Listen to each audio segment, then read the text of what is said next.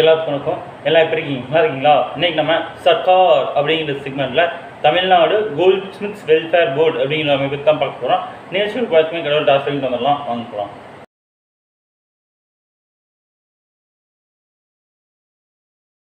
ரெண்டாயிரத்தி ஆறில் Tamil Nadu gold smiths social security and welfare social welfare scheme அப்படிங்கிற அந்த ஸ்கீமுக்கு கீழே தான் வந்து இந்த இது வந்தது. இது வந்து தமிழ்நாடு மாநிலம் முழுவதும் இது இயங்கிட்டு தான் இருக்குது அந்த கோல்டு சில்வர் அந்த மாதிரி ஆர்டிகல்ஸ் மேனுஃபேக்சரியில் ஈடுபடக்கூடிய எல்லாத்துக்குமே வந்து எல்லாமே அந்த மேனுவல் ஒர்க்கர்ஸ் அவங்க எல்லாத்துக்குமே வந்து இது பொருந்தும். ரெண்டாயிரத்தி ஆறு செப்டம்பர் ஒன்னோட தான் வந்து இது செயல்பாட்டுக்கு வந்தது.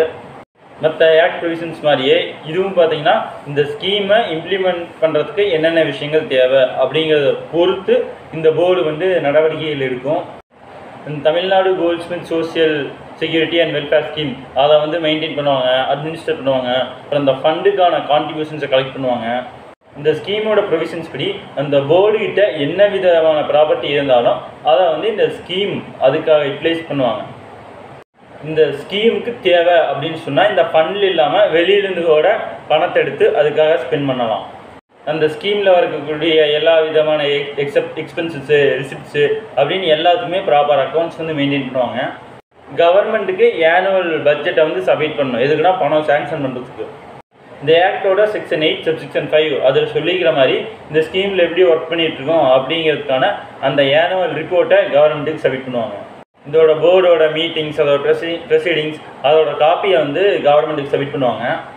கவர்மெண்ட்டில் சொல்கிற இன்ஸ்ட்ரக்ஷன்ஸ் படி இந்த போர்டோட அக்கௌண்ட்ஸோட ஆனுவல் ஆடிட்டுக்கு தேவையான எல்லா அரேஞ்ச்மெண்ட்ஸையும் பண்ணுவாங்க. கவர்மெண்ட்டுக்கு இவங்க ஃபர்னிஷ் பண்ணுற இன்ஃபர்மேஷன் எந்த மாதிரி பண்ணுவாங்கன்னா அவங்க வந்து டைம் டு டைம் ரெஃபர் பண்ணுற மாதிரி பண்ணுவாங்க. ஒரு பர்சனிட்டியோ இல்லை அத்தாரிட்டிஸ் இருந்தோ அந்த இவங்க ஃபிட் ஆவாங்க அப்படின்னு நினச்சாங்கன்னா அவங்க இருந்து ஃபண்டை வந்து ரிசீவ் பண்ணுவாங்க. இந்த சோர்ஸ் ஆஃப் மணி அதுக்காக கவர்மெண்ட்டுக்கிட்ட ப்ராப்பர் பர்மிஷன் வாங்கிட்டு தான் வந்து பணத்தை வந்து பாரோ பண்ணுவாங்க. ஃபார்மு ரெக்கார்டு ரெஜிஸ்டர் ஸ்டேட்மெண்ட்டு இந்த மாதிரி ஏதாவது தேவைப்படுறத ஸ்பெசிஃபை பண்ணுவாங்க. ஏன்னா வந்து அந்த ஸ்கீமுக்கு அட்மினிஸ்ட்ரேஷன் பண்ணுறது ஈஸியாக இருக்கணும். அது மட்டும் இல்லாமல் அடிஷ்னல் சர்டிஃபிகேட் ஏதாவது கேட்டாலும் கேட்பாங்க. இந்த ஸ்கீமில் ஏதாவது மாடிஃபிகேஷன் தேவைப்பட்டால் அதையும் வந்து இவங்க கவர்மெண்ட்டுக்கு ரெக்கமெண்ட் பண்ணுவாங்க. இந்த போர்டோட சீஃப் எக்ஸிக்யூட்டிவ் ஆஃபீஸர் தான் இந்த போர்டுக்கு செக்ரட்டரியாகவும் இருப்பார்.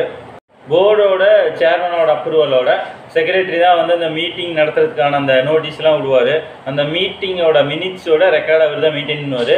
அந்த மீட்டிங்கில் எடுத்த டெசிஷன்ஸை நடைமுறைப்படுத்துறதுக்கு தேவையான ஸ்டெப்ஸையும் அவர் தான் எடுப்பார். இப்போ இந்த நீங்களும் ஒரு மேனுவல் ஒர்க்கராக இருக்கீங்க உங்களுக்கும் பயன் பெறணும் அப்படின்னு ஆசைப்பட்டீங்கன்னா நீங்கள் வந்து பதினெட்டு வயசுக்கு மேலே உள்ளவராக இருக்கணும் அதே சமயம் அறுபது வயசு முடிஞ்சிருக்கக்கூடாது ஐம்பது ஐம்பத்தொம்பது வயசுக்குள்ளே இருக்கணும். அப்படி இருந்தீங்கன்னா நீங்கள் எந்த மாவட்டமோ அந்த மாவட்டத்தில் சோசியல் செக்யூரிட்டி ஸ்கீமுக்குன்னு ஒரு லேபர் ஆஃபீஸர் இருப்பார். அவர்கிட்ட போய் நீங்கள் உங்கள் பேரை ரிஜிஸ்டர் பண்ணிக்கிட்டீங்கன்னா நீங்களும் வந்து இந்த ஸ்கீமில் மெம்பர் ஆகிடலாம் அப்படி நீங்கள் போகும்போது உங்கள்கிட்ட ரிஜிஸ்டர் பண்ணுறதுக்கு சர்டிஃபிகேட் ஆஃப் எம்ப்ளாய்மெண்ட் அப்படின்னு ஒன்று கேட்பாங்க. அது யார்கிட்ட நீங்கள் வாங்கணும் அப்படின்னு கேட்டிங்கன்னா ஃபஸ்ட்டு ஒன்று எம்ப்ளாயர்கிட்ட அதாவது உங்களுக்கு வேலை கொடுத்தவர்கிட்ட வாங்கலாம். அப்படி இல்லைன்னா ஏதாவது ஒரு ட்ரேட் யூனியனோட பிரசிடெண்ட்டு அப்படி இல்லைன்னா ஜென்ரல் செக்ரட்டரி அப்படி இல்லைன்னா பிரசிடென்ட் ஜென்ரல் செக்ரட்டரியோட ஆத்தரைஸ் பண்ணப்பட்ட ஆஃபீஸ் பீரர் இவங்க மூணு பேர்த்தில் யாராவது வாங்க அப்படியும் இல்லைன்னா லேபர் டிபார்ட்மெண்ட்டில் லேபருக்கு அசிஸ்டன்ட் இன்ஸ்பெக்டர் அவர்கிட்ட வாங்கலாம். அப்படியும் இல்லைன்னா இன்ஸ்பெக்டர் ஆஃப் ஃபேக்ட்ரிஸ் அந்த டிபார்ட்மெண்ட்டில் ஃபேக்ட்ரிஸோட அசிஸ்டன்ட் இன்ஸ்பெக்டர் அவர்கிட்ட வாங்கலாம். அப்படியும் இல்லைன்னா வில்லேஜ் அட்மினிஸ்ட்ரேட்டிவ் ஆஃபீஸர் விஏஓ இதே சென்னையாக இருந்தால் ரெவன்யூ இன்ஸ்பெக்டர் இதில் யாரோ ஒருத்தர்கிட்ட வாங்கினா போதும். இப்போ உங்களோட டிஸ்ட்ரிக்டில் சோசியல் செக்யூரிட்டி ஸ்கீமோட லேபர் ஆஃபீஸர் வந்து உங்கள் பேரை ரெஜிஸ்டர் பண்ணணும் அப்படின்னா உங்களோட டீட்டெயில்ஸை விஏஓ வில்லேஜ் அட்மினிஸ்ட்ரேட்டிவ் ஆஃபீஸர் இதே சென்னை டிஸ்ட்ரிக்டாக இருந்தால் ரெவன்யூ இன்ஸ்பெக்டர் இவங்க வெரிஃபிகேஷன் பண்ணதுக்கப்புறம் தான் அது உங்கள் பேர் ரெஜிஸ்டர் ஆகும். நீங்கள் ரெஜிஸ்டர் பண்ணுறது பார்த்தீங்கன்னா அஞ்சு வருஷத்துக்கு தான் வேலையிட்டு இதே அஞ்சு வருஷத்துக்கு முன்னாடியே உங்களுக்கு அறுபது வயசு ஆயிடுச்சு அப்படின்னா அத்தோட முடிஞ்சுது. இதே உங்கள் பேர் ரெஜிஸ்டர் ஆயிடுச்சுன்னா உங்களுக்கு வந்து ஐடென்டி கார்டு கொடுப்பாங்க. அந்த லேபர் உங்கள் டிஸ்ட்ரிக்டில் இருக்கிற சோசியல் செக்யூரிட்டி ஸ்கீமோட லேபர் ஆஃபீஸர் யார்கிட்ட போய் உங்கள் பேரை ரெஜிஸ்டர் பண்ணுறீங்களோ அவரே வந்து உங்களுக்கு ஐடென்டி கார்டு கொடுப்பாரு. ஃப்ரீ ஆஃப் காஸ்ட்டில் ஃப்ரீ காஸ்ட் கொடுக்க வேண்டியதில்லை. இப்போ நீங்கள் ஐடென்டி கார்டை தொலைச்சிட்டிங்க அப்படின்னா அதுக்கான அப்ளிகேஷன் ஃபார்மை ஃபில்அப் பண்ணி போர்டு ஆஃபீஸ் இல்லை டிஸ்ட்ரிக்ட் ஆஃபீஸ் இல்லை லோக்கல் ஆஃபீஸில் கொடுத்தீங்கன்னா ஒரு டுவெண்ட்டி ருபீஸ் ஃபைன் பேமெண்ட் பண்ணீங்க அப்படின்னா உங்களுக்கு வந்து டூப்ளிகேட் ஐடென்டி கார்டு கொடுப்பாங்க. இப்போ நீங்கள் இறந்துட்டீங்க அப்படின்னா அந்த பெனிஃபிட்ஸ் எல்லாம் யாருக்கு போகணும் அப்படிங்கிறதுக்காக நாமினி அப்படின்னு ஒன்று கொடுக்கணும். அவங்களோட பேர் அட்ரஸ்ஸு அவங்களுக்கும் உங்களுக்கும் என்ன உறவு அந்த டீட்டெயில்ஸ் கொடுக்கணும். இப்போ உங்களோட மேனுவல் ஒர்க்கருக்கு ஃபேமிலி இருக்குது குடும்பம் இருக்குன்னா அந்த குடும்பத்தில் இருக்கிற ஒருத்தர் இல்லை அதுக்கு மேற்பட்ட ஆட்களை வந்து நீங்கள் நாமினியாக போட்டுக்கலாம். ஆனால் குடும்பத்தில் இல்லாத வேற யாரையாவது நாமினியாக போட்டிங்கன்னா அது செல்லாது. இப்போ உங்களுக்கு குடும்பமே இல்லை அப்படின்னா நீங்கள் யார் பேரை வேணாலும் நாமினியாக போட்டுக்கலாம். இப்போ நீங்கள் குடும்பம் இப்போ வந்து உங்களுக்கு குடும்பம் இருக்குது ஆனால் நீங்கள் குடும்பத்தில் இல்லாத யாரோ ஒருத்தர் நாமினியாக போட்டீங்க. அப்போ அது செல்லாமல் போயிடும். அப்போ நீங்கள் தொண்ணூறு நாளுகளுக்கு உள்ளேயே உங்கள் குடும்பத்தில் உள்ள உள்ள யாரோ ஒருத்தரை நாமினியாக போட்டிங்கன்னா அது மறுபடியும் செல்லும். இப்போ நீங்கள் ஒரு நாமினி போடுறீங்க அவங்க வந்து உங்களுக்கு முன்னாடியே இறந்துட்டாங்க அப்படின்னா நீங்கள் வந்து வேற ஒரு நாமினி போட்டுக்கலாம். இப்போ நீங்கள் நாமினேஷனே கொடுக்கல அப்படின்னா இல்லை நாமினேஷன் கொடுத்து செல்லாமல் இருக்குது அப்படின்னா உங்களுக்கு அப்புறம் அந்த பெனிஃபிட்ஸ் எல்லாம் உங்களோட வாரிசுக்கு போயிடும். நீங்கள் ரெஜிஸ்டர் பண்ணும்போது கொடுத்த தகவல் தப்பான தகவல் கொடுத்துட்டீங்க இல்லை பொய்யான தகவல் கொடுத்துட்டீங்க இல்லை வந்து சட்டத்துக்கு புறம்பான தகவல் கொடுத்துட்டீங்க இல்லை அந்த ரூல்ஸ் ஃப்ரேம் பண்ணதுக்கு உங்களுக்கு ஒத்து வரல அப்படின்னா உங்களோட மெம்பர்ஷிப்பை கேன்சல் பண்ணிடுவாங்க. என்னதான் வந்து அவங்க பொய்யான தகவல் கொடுத்த கண்டுபிடிச்சாலுமே கூட உங்களுக்கு ஒரு வாய்ப்பு கொடுப்பாங்க. ஏன் வந்து இந்த மாதிரி ஒரு செயலை செஞ்சீங்க? அப்படின்னு உங்கள்கிட்ட கேட்பாங்க. உங்கள்கிட்ட பதில் வராமல் அவங்க வந்து உங்கள்கிட்ட கேட்க இந்த கேள்வியை கேட்டு உங்கள்கிட்ட ஒரு பதில் வாங்காமல் அவங்க வந்து உங்கள் மெம்பர்ஷிப்பை கேன்சல் பண்ண மாட்டாங்க. உங்களுக்கு ஒரு வாய்ப்பு கொடுப்பாங்க. உங்கள் பக்கம் இருக்கிற நியாயம் சொல்கிறதுக்கு உங்களோட மெம்பர்ஷிப் கிளா கேன்சல் ஆயிடுச்சு அப்படின்னாலே உங்களோட கிளைம்ஸ் எல்லாத்தையுமே வந்து ஃபோர்ஃபிட் பண்ணிடுவாங்க. இப்போது உங்களோட மெம்பர்ஷிப்பை கேன்சல் பண்ணிட்டாங்க. ஆனால் வந்து நீங்கள் உங்கள் பக்கம் இருக்கு நியாயம் இருக்கிறதா நினச்சிங்கன்னா நீ சீஃப் எக்ஸிக்யூட்டிவ் ஆஃபீஸருக்கு அந்த ஆர்டர் பாஸ் பண்ணி முப்பது நாளில் நீங்கள் வந்து அப்பீல் பண்ணிடணும். அப்படி அப்பீல் பண்ணிங்கன்னா சீஃப் எக்ஸிக்யூட்டிவ் ஆஃபீஸர் வந்து டைம் எடுத்துக்குவார். அதெல்லாம் ரெஃபர் பண்ணுறதுக்கு ரெஃபர் பண்ணி ஒரு முப்பது நாளுக்கு மேலே முப்பது நாள்லேருந்து தொண்ணூறு நாளுக்குள்ளே அவர் ஒரு முடிவு சொல்லிடுவார். ஆனால் அவரோட ஆர்டர் தான் வந்து ஃபைனல் இப்போ வந்து நீங்கள் கிளாஸ் நைனுக்கே ரெஜிஸ்டர் பண்ணியிருப்பீங்க. அஞ்சு வருஷம் தான் உங்களுக்கு வேலிடிட்டி ஸோ அந்த வேலிடிட்டி முடியறதுக்குள்ளே அஞ்சு வருஷத்துக்கு முன்னாடியே எக்ஸ்பீரி ஆகிறதுக்கு முன்னாடியே வந்து நீங்கள் அதை ரினியூவல் பண்ணிடணும். நீங்கள் ரினியூவல் பண்ணாமல் விட்டுட்டீங்கன்னா அந்த அஞ்சு வருஷம் வேலிடிட்டி முடிஞ்சோடனே நீங்கள் மெம்பர் இல்லை அப்படின்ற மாதிரி ஆயிடும் இதுக்காக வந்து உங்களுக்கு ஆர்டர்லாம் சொல்லலாம் மாட்டாங்க. சரி அஞ்சு வருஷத்துக்கு நான் சரி வேலிடிட்டி டைம் அஞ்சு வருஷம் முடிஞ்சது ரினியூவல் பண்ணலை நான் மெம்பர் இல்லை அப்படின்னா உங்கள் டிஸ்ட்ரிக்டோட அந்த சோஷியல் செக்யூரிட்டி ஸ்கீமோட லேபர் ஆஃபீஸர்கிட்ட போய் பார்த்தீங்கன்னா அவர் வந்து மறுபடியும் வெரிஃபை பண்ணி நீங்கள் மறுபடியும் மெம்பர் ஆகிக்கலாம். நீங்கள் சப் கிளாஸ் டூ படி மறுபடியும் மெம்பர் ஆயிடுவீங்க. ஆனால் நீங்கள் ரினியூவல் பண்ண விட்டீங்க பார்த்தீங்களா அந்த இடைப்பட்ட காலம் அதில் கிடைக்க வேண்டிய பெனிஃபிட்ஸ் எதுவுமே வந்து உங்களுக்கு கிடைக்காது. மெம்பராக இருக்கும்போது மட்டும்தான் உங்களுக்கு கிடைக்கும். நீங்கள் ரினியூவல் பண்ணாமட்டதுனால மெம்பராக இல்லாமல் ரினியூவல் பண்ணல அதனால் மெம்பர் ஆகலை. மறுபடியும் போய் லேபர் ஆஃபீஸரை பார்த்து மறுபடியும் மெம்பர் ஆகிப்பீங்க அப்போ நடுவில் இடைப்பட்ட காலம் மெம்பர் இல்லாமல் இருந்தீங்க பார்த்தீங்களா அந்த டைமில் வர வேண்டிய பெனிஃபிட்ஸ் வந்து உங்களுக்கு கிடைக்காது. இப்போ நீங்கள் வந்து வேறு கம்பெனிக்கு வேலைக்கு போயிட்டீங்க இல்லை வேறு ஊருக்கு வேலைக்கு போயிட்டீங்க வேறு இடத்துல வேலைக்கு போயிட்டீங்க அப்படின்னா நீங்கள் வந்து முப்பது நாளுக்குள்ளே நேரில் போய் சந்திச்சோ இல்லை ரிஜிஸ்டர்ட் போஸ்ட் மூலியமாகவோ அந்த லேபர் ஆஃபீஸர்கிட்ட நீங்கள் இன்ஃபார்ம் பண்ணிடணும். இப்போ வந்து உங்களுக்கு வேலை செய்யும்போது ஏதாவது அடிபட்டுச்சு உடம்புல ஏதாவது கை போயிடுச்சு கால் போயிடுச்சு இல்லை கண் போயிடுச்சு இந்த மாதிரி ஏதாவது அடிபட்டுச்சு அப்படின்னா அதுக்கு வந்து பர்சனல் ஆக்சிடென்ட் ரிலீஃப் ஃபண்ட் அப்படின்னு சொல்லி ஒரு பணம் உங்களுக்கு கொடுப்பாங்க. இதே வந்து மரணம் வந்துடுச்சு அப்படின்னா நீங்கள் நாமினின்னு யார் பேரை போடுறீங்களோ அவங்களுக்கு கொடுப்பாங்க. இதில் முக்கியமான விஷயம் என்னென்னா நடந்தது வந்து பார்த்தீங்கன்னா அதுவாக நடந்ததாக இருக்கணும். நீங்கள் வேணும்னே பணம் கிடைக்கிறதுக்காக வேணும்னே எதாவது பண்ணிக்கிறது. இல்லை ஒரு சமயம் என்ன இந்த தண்ணியை போட்டு அதனால் ஏதாவது வர்றது இல்லை சூசைட் அட்டம்ப்ட்டு இந்த மாதிரி விஷயங்கள்லாம் வந்து இந்த மாதிரி விஷயங்களுக்கெல்லாம் பணம் கொடுக்க மாட்டாங்க. இறந்துட்டா நீங்கள் நாமினின்னு யார் பேர் போடுறீங்களோ அவங்ககிட்ட ஒரு லட்சம் கொடுப்பாங்க. இல்லை ரெண்டு கை பேசினாலும் உங்களுக்கு ஒரு லட்சம் கொடுப்பாங்க. ரெண்டு கால் பேசினாலும் உங்களுக்கு ஒரு லட்சம் கொடுப்பாங்க. இல்லை ஒரு கை ஒரு கால் பேசினாலும் உங்களுக்கு ஒரு லட்சம் கொடுப்பாங்க. இல்லை கண் பார்வை பேசினாலும் உங்களுக்கு ஒரு லட்சம் கொடுப்பாங்க. ஒரு கை மட்டும் போயிருக்கு அப்படின்னா ஐம்பதாயிரம் கொடுப்பாங்க. ஒரு கால் மட்டும் போயிருக்கு அப்படின்னா ஐம்பதாயிரம் கொடுப்பாங்க. இல்லை ஒரு கண் பார்வை மட்டும்தான் போயிருக்கு அப்படின்னா ஐம்பதாயிரம் கொடுப்பாங்க. இதே மற்ற விஷயங்கள்லாம் இருந்தால் இருபத்தஞ்சாயிரம் கொடுப்பாங்க. இப்போது அடுத்தது வேறு ஏதாவது இப்போ எக்ஸாம்பிளுக்கு வீல் சேர் வாங்கணும் அப்படின்னா கூட நீங்கள் அடிஷ்னலாக இதில் க்ளைம் பண்ணிக்கலாம். இப்போது அவருக்கு வந்து கை கால் போயிடுச்சு கண் போயிடுச்சு ஏதாவது நடந்துருச்சு அப்படின்னா அந்த விஷயம் நடந்து முப்பது நாளுக்குள்ளே அந்த டிஸ்ட்ரிக்டோட சோசியல் செக்யூரிட்டி லேபர் ஆஃபீஸருக்கு உங்களுக்கு யார் வேலை கொடுத்தாரோ அந்த எம்ப்ளாயர் உங்கள்கிட்ட வே உங்களை வேலை வாங்கினா அந்த எம்ப்ளாயர் வந்து முப்பது நாளுக்குள்ளே அந்த லேபர் ஆஃபீஸருக்கும் போலீஸ்க்கும் ரிப்போர்ட் சப்மிட் பண்ணும். இல்லை வேறு ஏதாவது கேஸ்னால் அந்த பாதிக்கப்பட்ட ஒர்க்கரோ இல்லை வந்து அந்த ஒர்க்கர் வந்து நாமினின்னு ஒருத்தர் போட்டு பா பார்த்தீங்களா? அவர். அப்படி இல்லைன்னா ட்ரேட் யூனியனோட ஒரு ரெப்ரசன்டேட்டிவ் போர்டுக்கு வந்து ரிப்போர்ட் அனுப்பிட்டோம் வந்த ரிப்போர்ட்டை அந்த போர்டு வந்து அடுத்தது ஆக்சிடென்ட் எப்படி இருந்துச்சுன்னு இன்வெஸ்டிகேட் பண்ண ஆரம்பிப்பாங்க. அடிபட்டிருக்கு கை பேருக்கு கால் போயிருக்கு கண் பேருக்குன்னா அந்த ஒர்க்கர்கிட்டயே வந்து பணத்தை கொடுத்துருவாங்க. இதே வந்து இறந்துட்டா இறந்துருந்தாரு அப்படின்னா நாமினிகிட்ட பணத்தை கொடுப்பாங்க.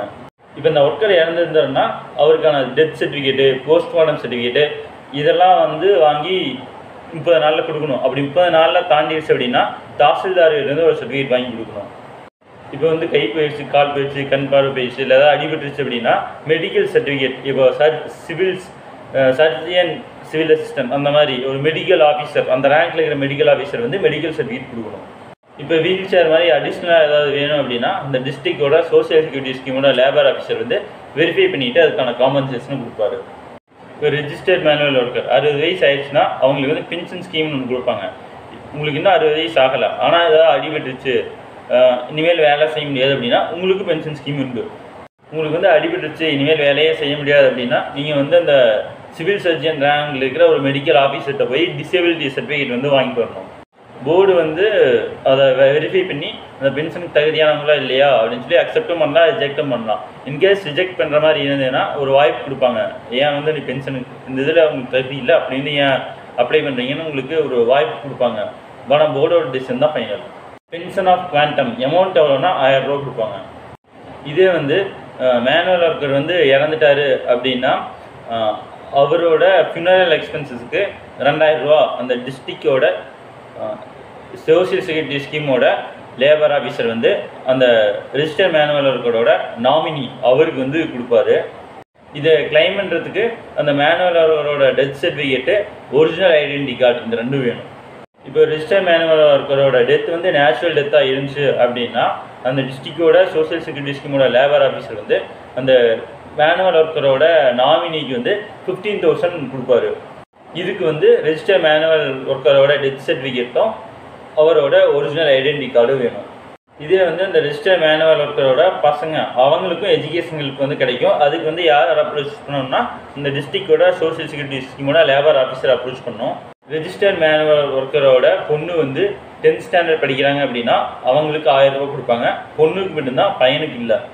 ரெஜிஸ்டர் மேனுவல் ஒர்க்கரோட பொண்ணாக இருந்தாலும் சரி பையனாக இருந்தாலும் சரி டென்த்து பாஸ் பண்ணிட்டாங்கன்னா அப்போ ஒரு ஆயிரம் கொடுப்பாங்க. இதே லெவன்த்து படிச்சுட்டு இருக்கும்போது ஒரு ஆயிரம் கொடுப்பாங்க. இது பொண்ணுக்கு மட்டும்தான் பையனுக்கு இல்லை.